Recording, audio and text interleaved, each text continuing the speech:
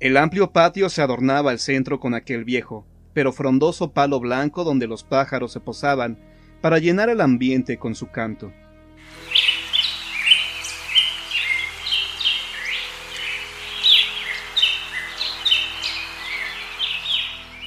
Durante el verano era el lugar ideal para la silla del abuelo, que ocupaba media mañana en leer el periódico, o para el baño, y el tallador de la señora de la casa, afanada siempre en llenar el tendedero de ropa recién lavada, secándose al sol brillante de Anáhuac. Por las noches todo era diferente. Ningún pájaro dormía en el árbol, y jamás un nido se vio entre sus ramas. Aquel palo blanco era visto con desconfianza por los vecinos que contaban de cosas raras que sucedían en torno a él. Doña Martina y su esposo José llegaron con el abuelo y los niños a ocupar aquella casa después de dejar el rancho. Nada sabían de aquellas historias y nada creían por jamás haber observado algo. Ahora los niños estaban en la escuela y podían seguir atendiendo la parcela, que estaba a media hora del pueblo.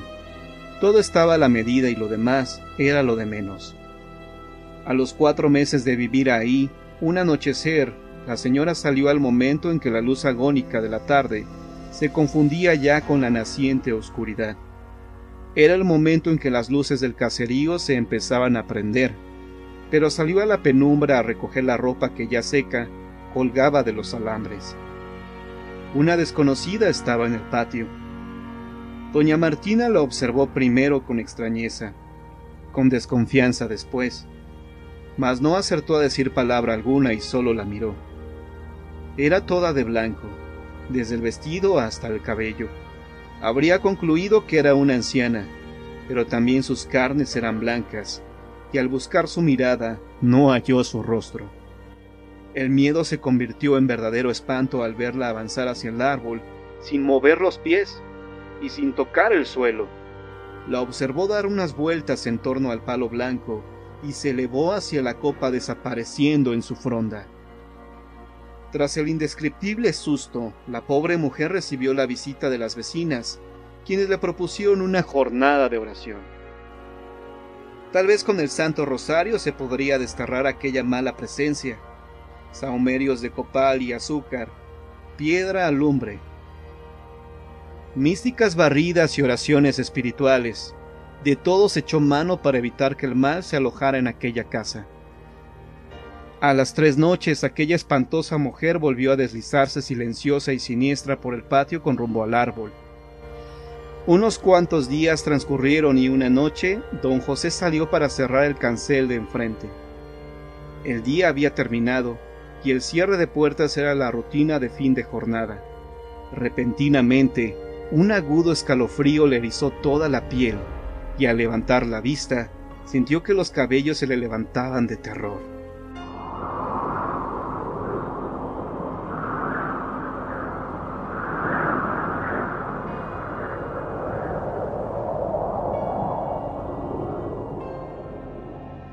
Sobre su cabeza pasó en lento vuelo la fantasmal mujer hacia el palo blanco. Se desplazó vaporosa e indiferente, y tomó posesión de una rama para sentarse a presidir solemne los minutos de espanto y silencio que le rodeaban.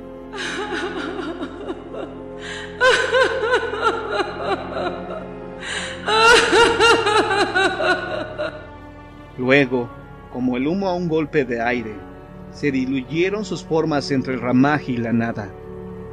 Después de tantas noches de oración y miedo, don José decidió derribar el árbol para ver si así se erradicaba definitivamente aquella indeseable visita. Así que una mañana se armó de hacha y serrucho para en unas cuantas horas reducir el palo blanco a un montón de leña.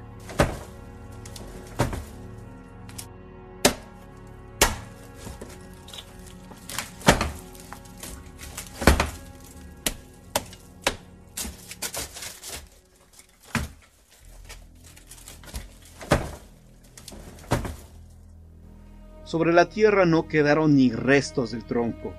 Aquel espectro se tendría que mudar a otra parte.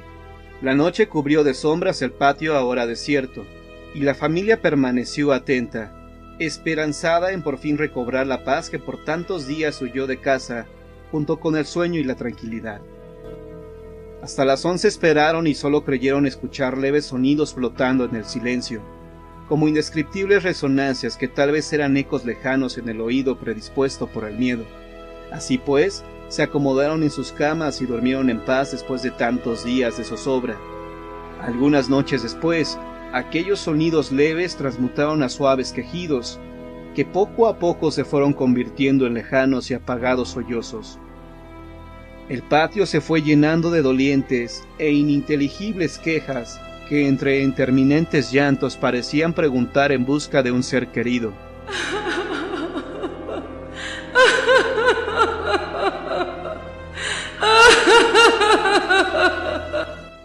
El miedo volvió a llenar de intranquilidad aquel hogar, al que ya no parecía valerle plegaria alguna. De ahí en adelante todas las noches fue lo mismo.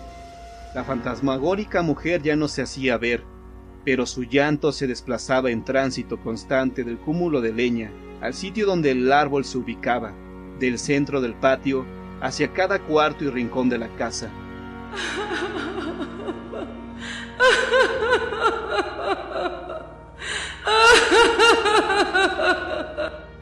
La mujer parecía cuestionar al viento por su lugar en el mundo, por su morada que humanos incomprensivos le habían arrebatado, por su hogar ahora irremediablemente perdido. La familia no soportó más los lánguidos reclamos y levantando niños y enseres, huyeron a su antigua casa de rancho. Quizá ya por fin podrían descansar del asedio de aquella arcana mujer. Han pasado muchos años, un nuevo palo blanco nació de la vieja cepa. Tierno y esbelto se mece al viento en medio de aquel patio que se volvió a llenar de niños y pájaros en movimiento. Los nuevos inquilinos repararon techo, puertas y ventanas, sin hacer mucho caso de las historias que la gente contaba. Pero algunas veces los vecinos dijeron ver por la noche a una mujer sentada al pie del joven árbol. Se acomodaba junto al tronco y parecía que en su indefinido rostro se dibujara un gesto de satisfacción por haber recuperado su espacio místico, que la incomprensión humana alguna vez la había arrebatado.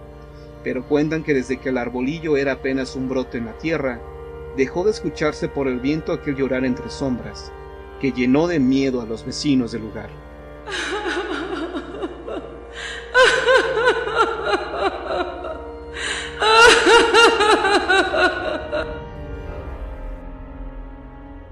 Un fraile que no se mojaba.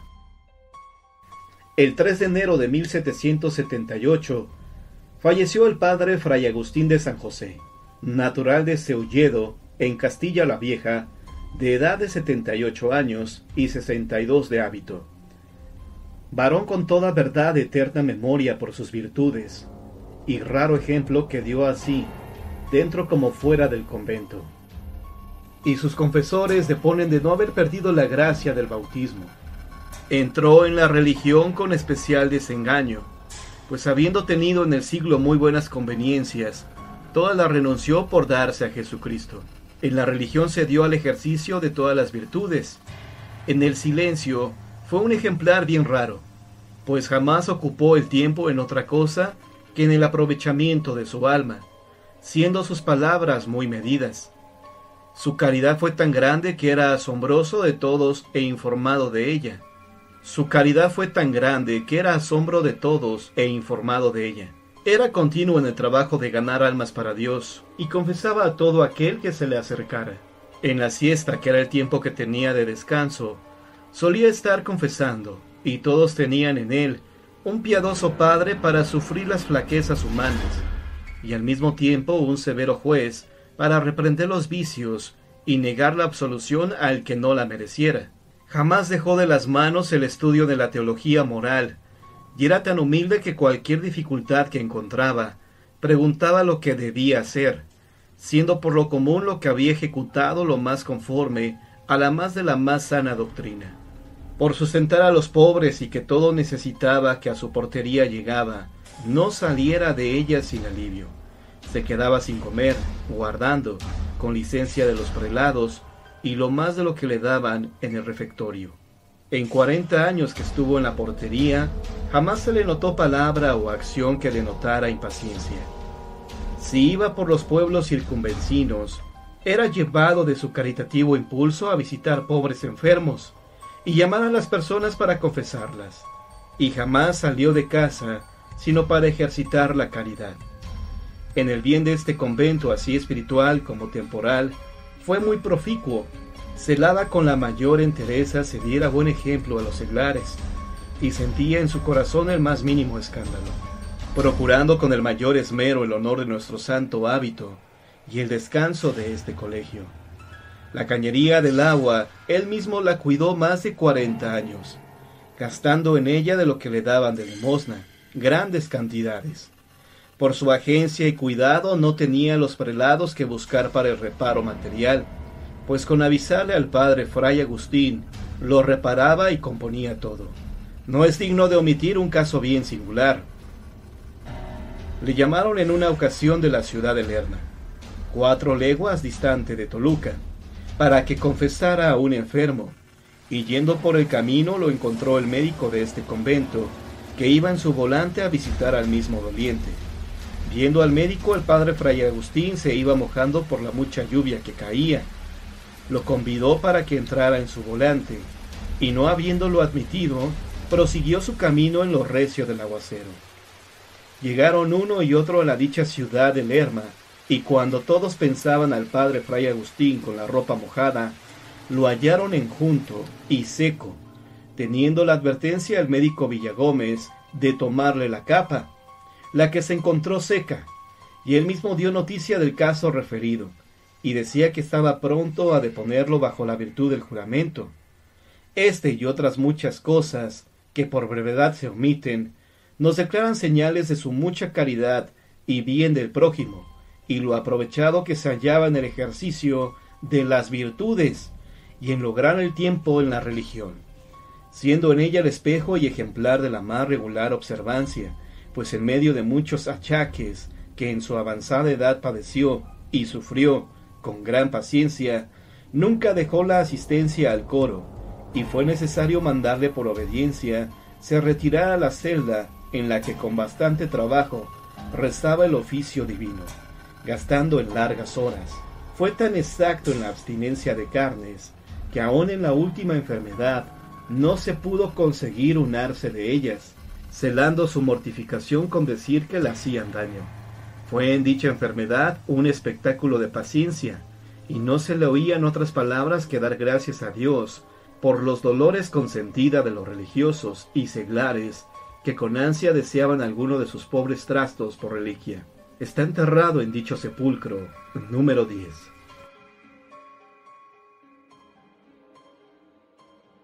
Una confesión de ultratumba. Leyenda de Zacatecas. Por las noches, cuando la ciudad duerme custodiada por la luna, y nada turba su transparente calma, es mucho más factible que se presentan sucesos en la romántica plaza mayor de la ciudad capital de Zacatecas. En cierta ocasión, a altas horas de la noche, llamaron fuertemente con el antiguo y pesado picaporte de hierro la puerta de la notaría del templo de Santo Domingo, donde se alojaba el padre Martín Esqueda. No causó extrañeza al buen sacerdote que lo fueran a despertar a tales horas, pues estaba acostumbrado a ello, pues con frecuencia así acontecía, para llevarlo a administrar los sacramentos a los enfermos graves. Como siguieron tocando cada vez con mayor fuerza, se levantó del lecho, se vistió y se asomó a la ventana preguntando ¿Quién llama? Una mujer de clase humilde, vestida de negro y cubierta la cabeza con rebozo, contestó. Yo, padrecito, vengo a rogarle que nos haga la caridad de ir a casa, a auxiliar a un enfermo muy grave que tenemos. Por toda contestación el sacerdote salió enseguida con su petaca de mano. Atrás la mujer que le servía de guía. Atravesaron oscuras y apartadas callejas que desembocaban en la antigua plaza de toros, y al llegar a esta la mujer se detuvo y abrió la puerta de una mísera habitación, a la cual pasó el padre. El cuarto estaba desmantelado, con la débil luz de una vela de cebo que estaba en la tabla de un viejo y desvencijado cajón de madera. El sacerdote distinguió al enfermo, el cual yacía sobre un sucio petate en el suelo, junto a la pared, en el rincón de la estancia Cercano al paciente estaba colocado un rústico y tosco banco de madera de tres patas, y esto constituía todo el mobiliario de la pieza. El padre Esqueda se sentó en el banco y se quedó mirando al enfermo. Era un hombre entre los cincuenta y los sesenta años, alto, con el cuerpo enflaquecido, de rostro enjuto, demacrado y de amarillento color cadavérico. Sus ojos eran verdes pero sin expresión, que fijaba con insistencia en las vigas del techo, su anhelante y fatigosa respiración. Preludio del estertor de la agonía. Se interrumpía en intervalos de una tos seca y cansada. Un sudor frío le humedecía la frente y febril temblor sacudía su cuerpo. El sacerdote le tomó una mano y la encontró yerta, con el frío del final, por lo cual comprendió su gravedad, y viendo que no había un momento que perder, le dijo, Hijo mío, ¿te sientes muy mal? Sí, padrecito, contestó el enfermo con desfallecida voz. Y quiero confesarme al oír esto, la mujer que había estado contemplando la escena salió a la calle. El sacerdote abrió su petaca, sacó la estola, se la colocó sobre los hombros y volvió a decir al enfermo, Bien, hijo mío, di tus pecados. El paciente, no obstante su gravedad, tenía completa lucidez e hizo una larga confesión de sus culpas que terminó entre sollozos, signo inequívoco de su gran arrepentimiento. El padre, al terminar de escuchar este relato de sus pecados, lo confortó con sus consejos y le dio la absolución. Luego volvió a abrir la petaca, sacó lo necesario y le administró la extrema unción. Al cabo de ponerle los santos óleos, se quitó la estola y la colocó sobre una estaca de madera que estaba clavada en la pared. Cerró su petaca, se despidió tiernamente del enfermo y de su mujer y se fue a su casa. Al día siguiente, como no encontraba la estola en su petaca, recordó que la había dejado olvidada en la casa del enfermo, y le preguntó al sacristán, Dime, ¿no han traído la estola de la casa del enfermo que fui a confesar anoche? No, padre, no han traído nada. Vaya, qué raro está esto. Al punto mandó al monaguillo por ella, y luego de largo rato de espera regresó este manifestando que había tocado mucho rato a la puerta de la casa y que nadie la abrió, por lo que creía que estaba deshabitada. Impaciente el padre mandó con apremio al sacristán, el cual dilató en volver el doble de tiempo que el acólito, y a su regreso dijo al sacerdote lo mismo que aquel. Había estado tocando fortísimamente, hasta con una piedra, y que nadie la abrió y por lo mismo tenía la seguridad de que en esa casa no vivía nadie. El padre Esqueda perdió la paciencia y nervioso fue personalmente a la casa, con igual resultado que los dos anteriores, pues no obstante lo mucho que tocó, nadie le abrió, quedando con la certeza de que la casa estaba deshabitada, porque además todos los indicios demostraban que la puerta hacía largo tiempo que no se abría, como no encontraba por aquellos arrabales de la plaza de toros alma viviente que le informara al respecto, fue intrigado al ver al dueño del edificio, quien al escuchar el relato del padre respondió Padrecito, es muy extraño lo que usted me refiere. ¿No sería víctima de un sueño o de alguna pesadilla? Porque hace más de un año que tengo desocupados estos cuartos de la plaza de toros, y por lo mismo durante todo ese tiempo no se ha abierto, sino que han permanecido cerrados. A las afirmaciones del virtuoso ministro del Señor, le argumentó el propietario de la finca. Créame que me da pavor su caso, padrecito. Mas pronto sabremos si usted sufrió un sueño o es en realidad lo que usted dice. Como me asegura que la estola la dejó colgada en una estaca del cuarto aquel, si es así, ahí debe de estar. Vamos a desengañarnos. Encaminaron sus pasos hacia la plaza de toros. Y una vez ahí, al meter el dueño la tosca, antigua y pesada llave de hierro en la vieja chapa del cuarto en cuestión, el padre Esqueda notó que era la misma con la que la mujer había abierto la puerta la noche anterior. El pasador al girar dio un rechinido de herrumbre, lo cual afirmaba lo asegurado por el dueño, que hacía largo tiempo que no se abría. Cuando la puerta se abrió percibieron un fuerte olor a humedad, Grande fue la sorpresa de ambos al ver enormes telarañas colgando del techo y un sinnúmero de ratas corriendo azoradas hacia sus agujeros, cosa que no viera el padre la noche anterior. El piso estaba enlosado, pero lo cubría una gruesísima capa de tierra sobre la que quedaban estampadas las huellas de los pies. No obstante, lo tétrico del cuarto, la estola estaba colgada sobre la estaca de madera, tal y como el sacerdote lo aseguraba.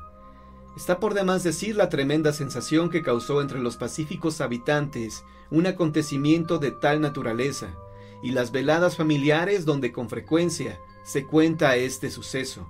El buen padre Esqueda adquirió un recio padecimiento hepático, ocasionado por el fuerte derrame de bilis, cuyo resultado fue su fallecimiento, después de varios años de haber confesado al enfermo de ultratumba, o no se sabe de dónde vendría, ya que jamás se han vuelto a tener noticias de él.